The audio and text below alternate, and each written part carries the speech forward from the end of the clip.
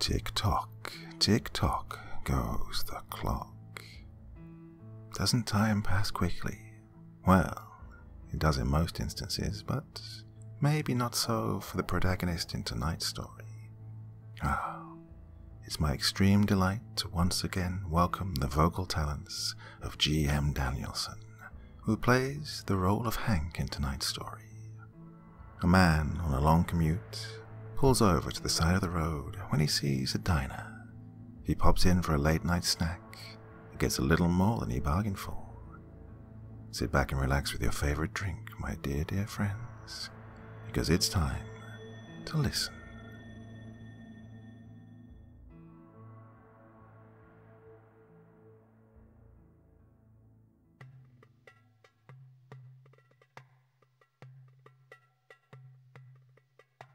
Late one night, I found myself driving down what seemed like an endless stretch of road. I was on my way back from a week long business trip, facing at least a 12 hour drive home.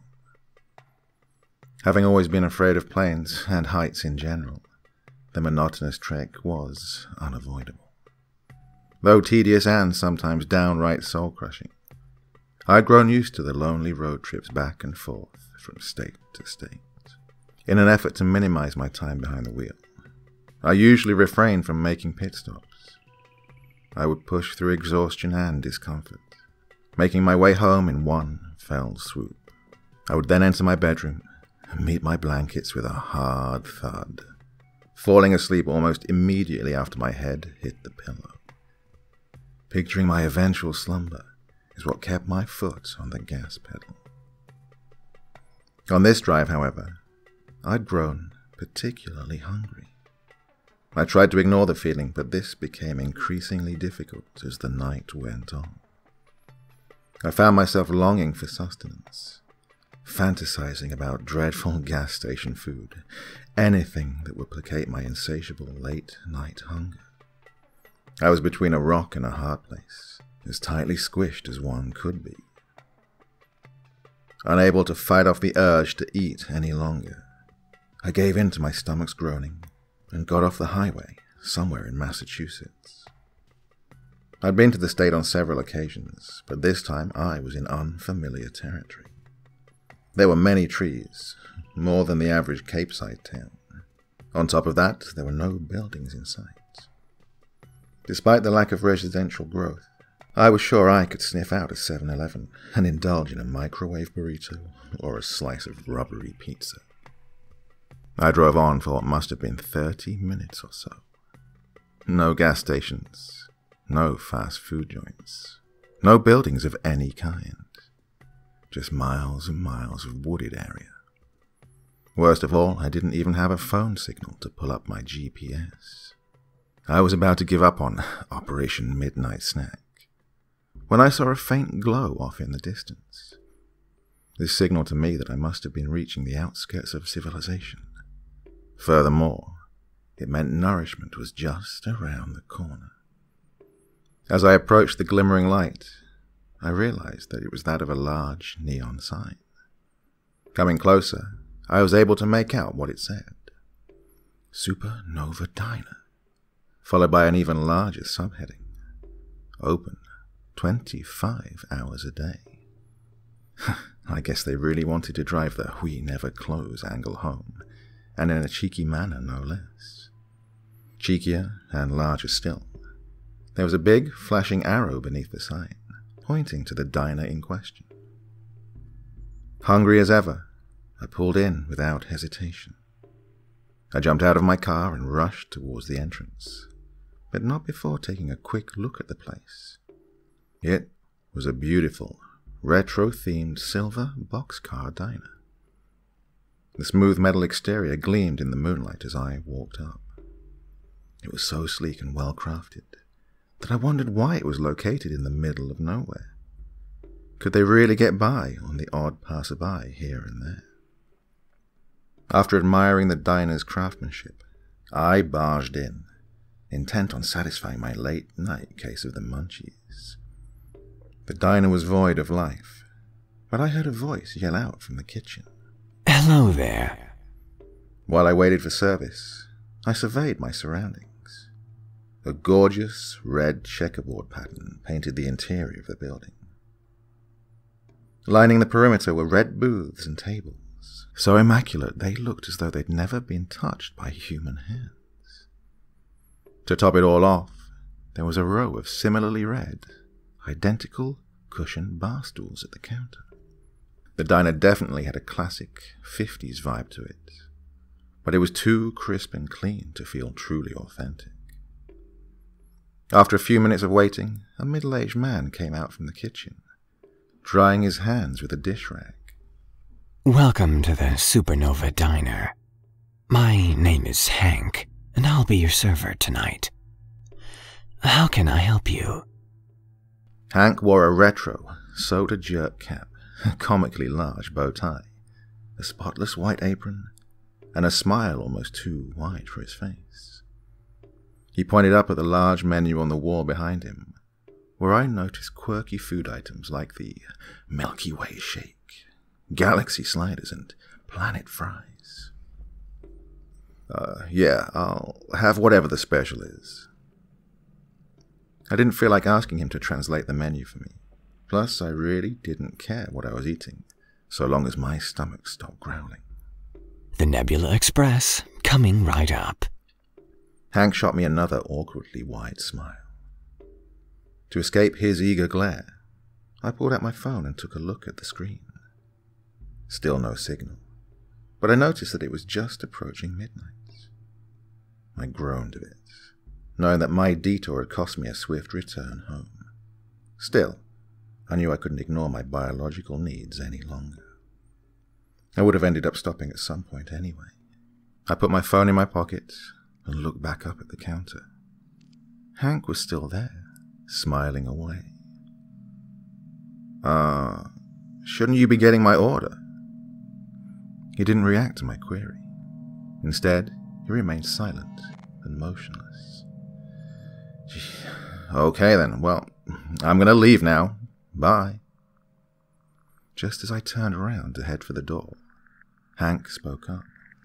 I wouldn't do that if I were you. Why is that? I asked. Well, it would be a waste of time. I turned back and glared at him. What are you talking about? Are you going to get my food or not? He laughed at me. you can't leave now. The fun is just about to begin. Your order is being prepared as we speak. Just sit back, relax, and enjoy the ride. Hank pulled out a stopwatch from his apron.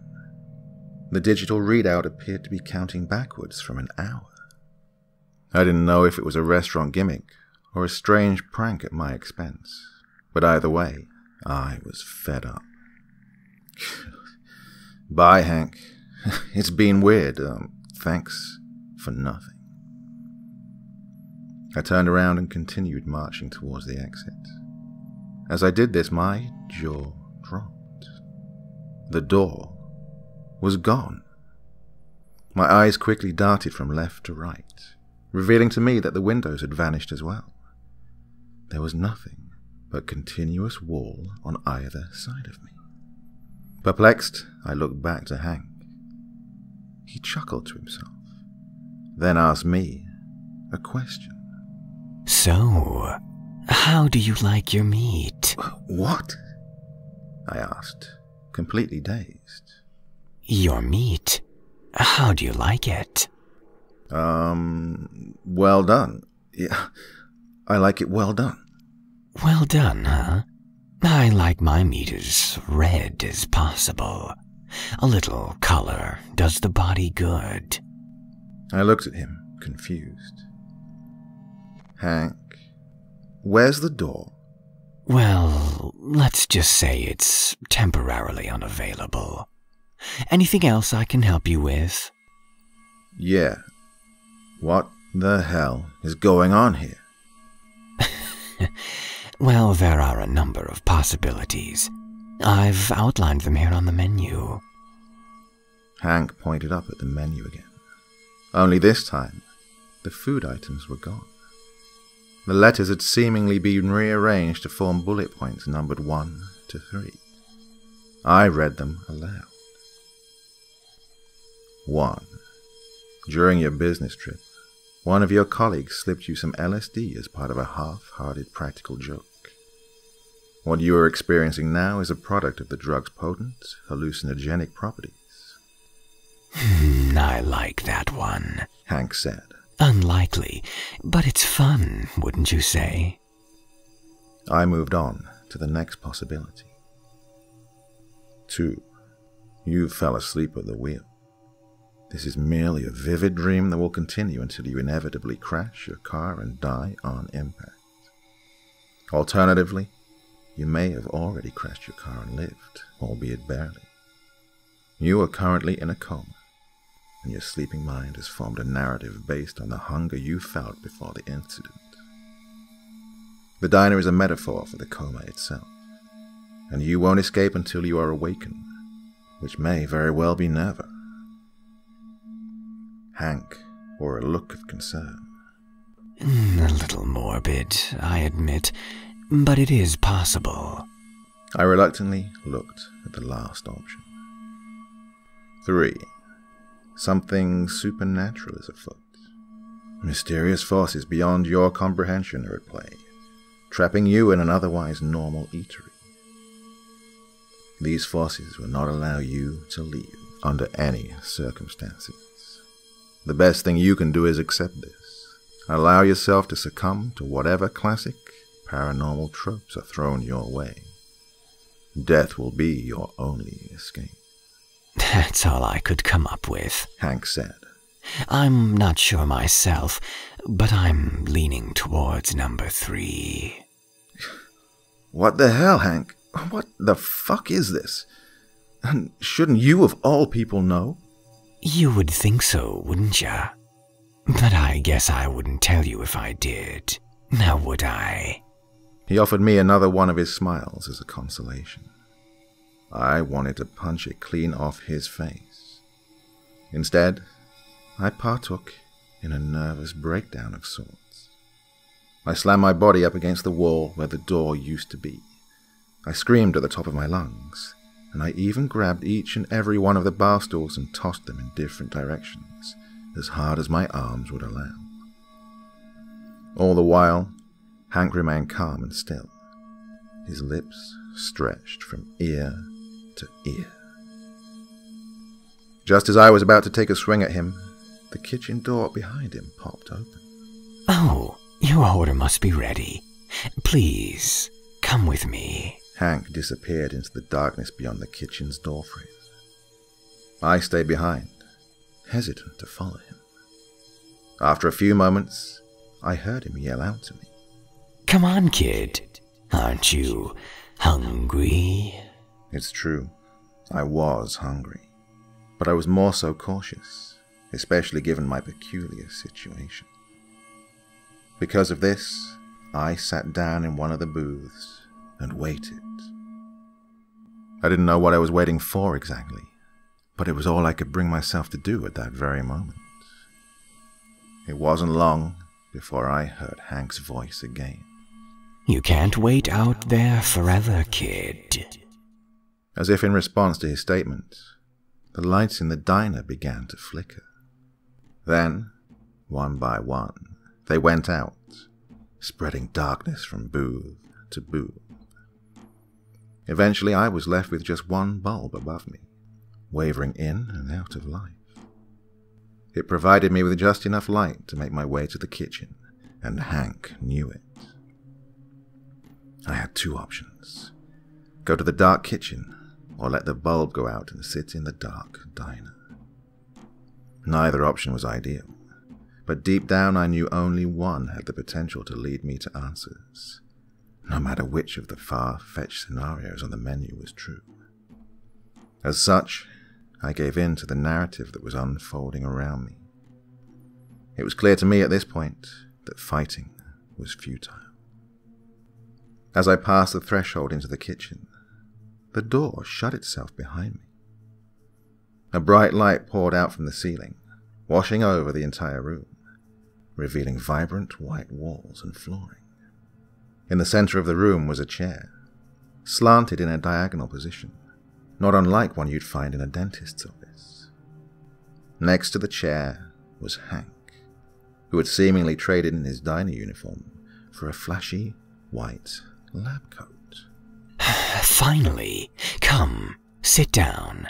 Take a load off. If only out of fear for what might happen next if I disobeyed, I did as Hank told me. It's not like I had much of a choice at that point. I slowly walked over to the chair and laid down. As I did this, leather straps wrapped themselves around my legs, arms, and forehead. I no longer had the luxury of movement or peripheral vision. Hank walked around to the front of the chair and pulled out his stopwatch. You're doing just fine, kid. Only 40 minutes left.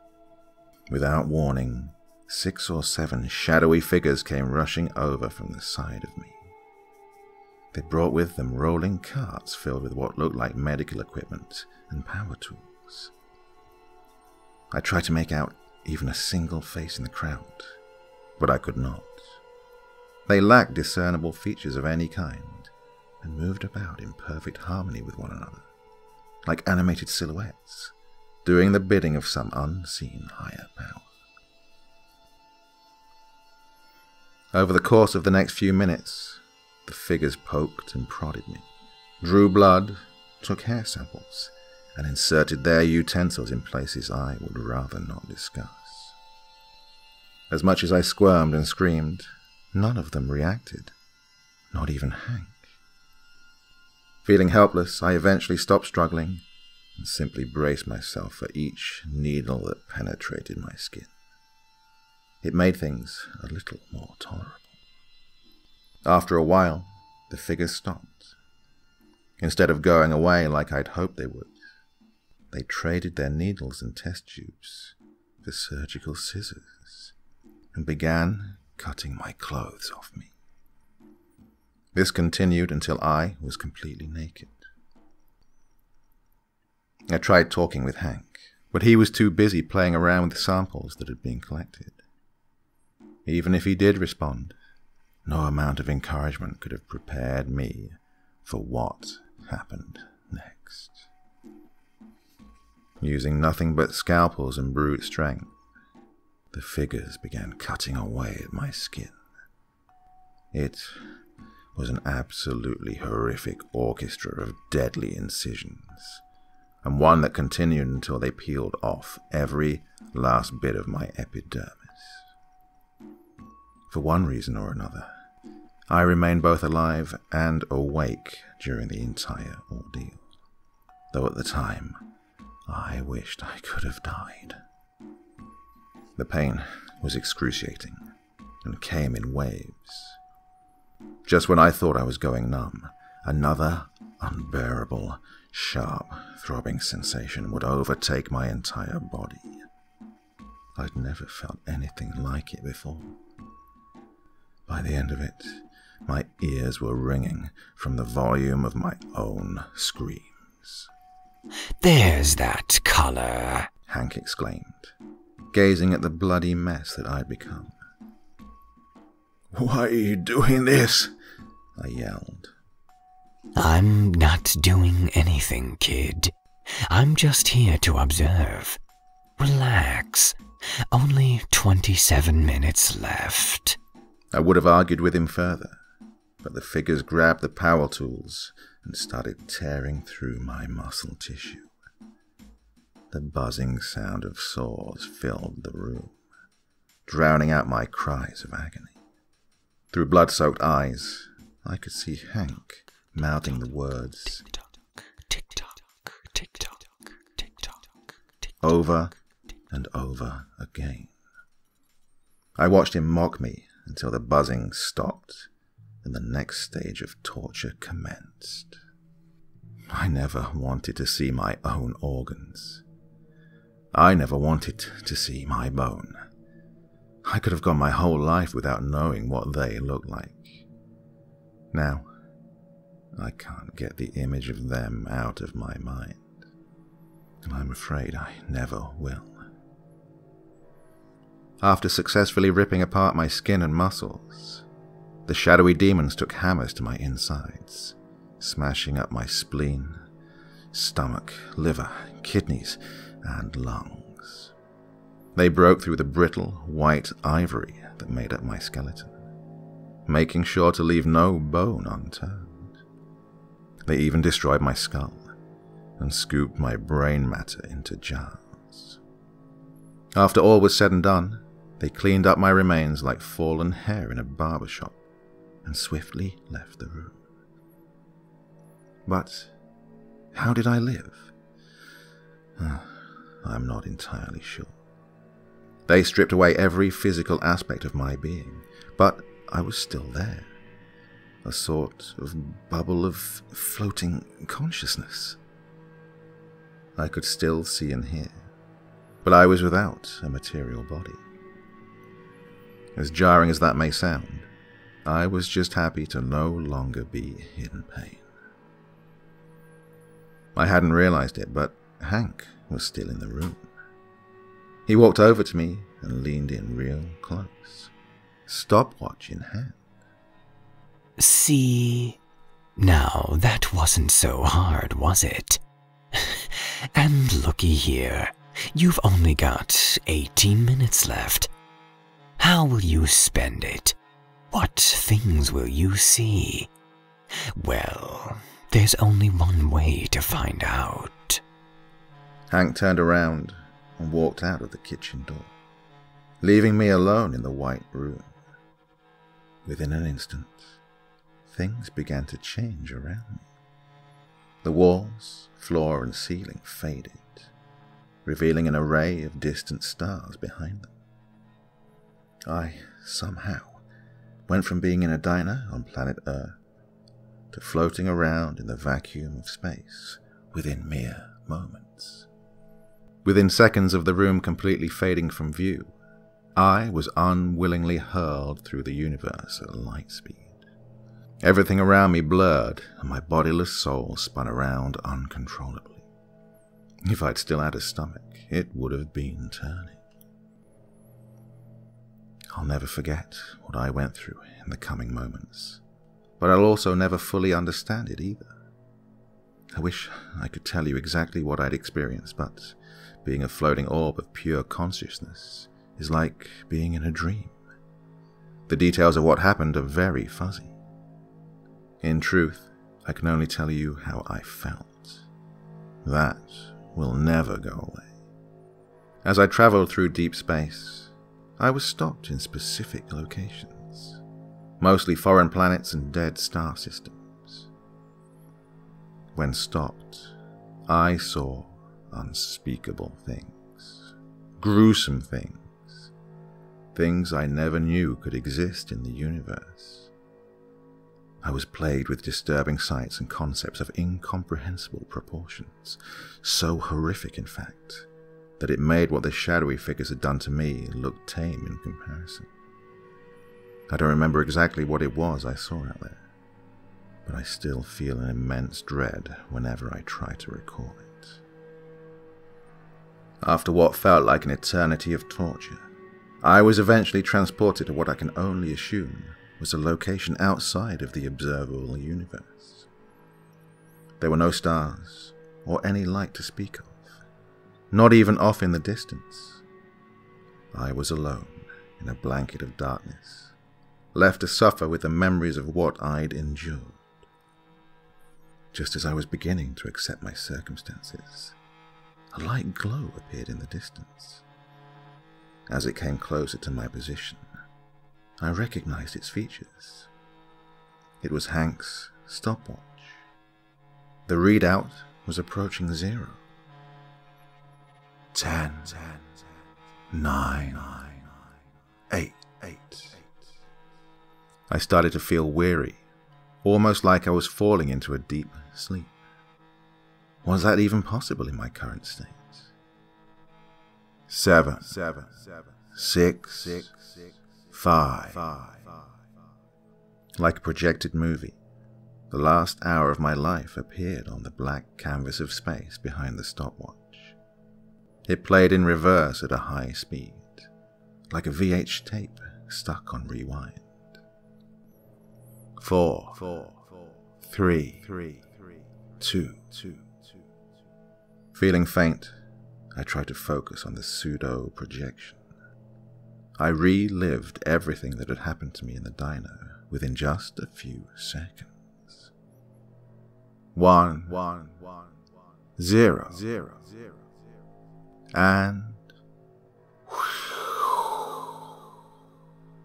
just like that, I was back in the diner parking lot, body and flesh intact.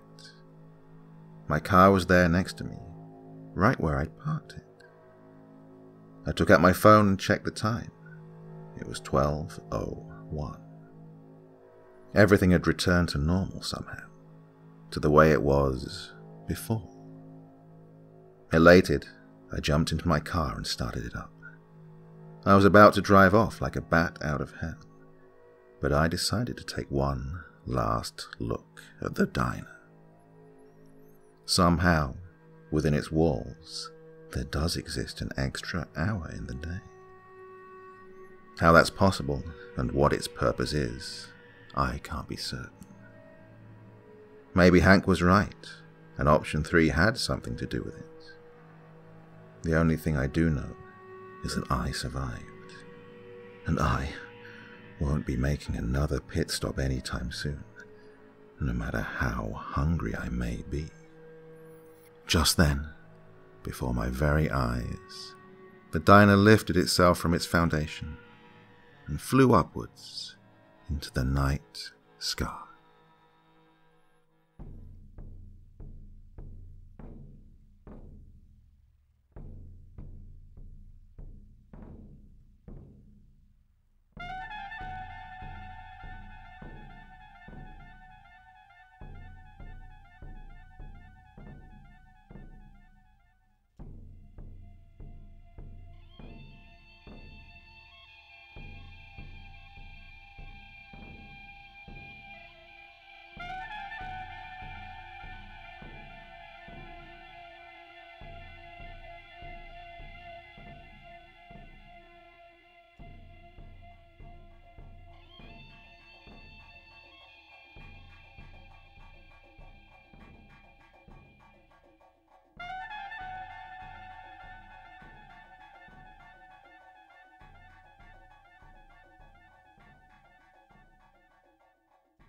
Well, that was a weird little story, wasn't it? Hope you enjoyed that one as much as I did.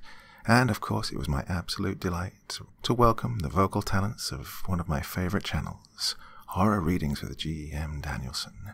That's where I go when I want to relax, when I'm not narrating myself. Can't recommend that channel highly enough. Go on, click on the link at the end of this video and go there and listen to all of his stories. One of my absolute favorites. Well, I'll be back in a couple of days. I have a Friday night treat lined up for you, so make sure you join me again soon. But for now, bye bye.